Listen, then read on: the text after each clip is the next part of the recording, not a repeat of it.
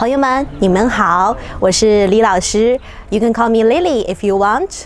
我来自中国十三朝古都西安。First of all, I want to make clear that not all Chinese people can teach Chinese or even teach Chinese well. I'm a real graduate of TCSL and received my Chinese teacher qualification certificate and 普通话 rating certificate. I have been teaching Chinese as a second language for six years.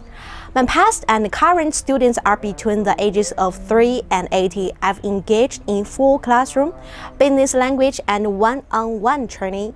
I like studying languages very much. Although my spoken English is not perfect, I can communicate with others.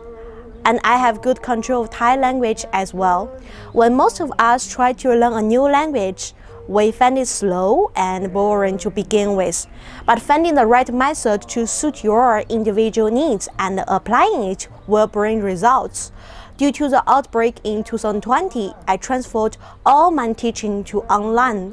In my classroom, you find it a balance between professional instruction and a comfortable conversation. When it's time to work, we need to focus on the task at hand, but when it's time to review and reflect, we'll have a lot of fun. 接下来，李老师会带着大家高效掌握汉语，领略趣味文化，快来加入我的课堂吧！李老师很期待和你很快相见，谢谢，再见。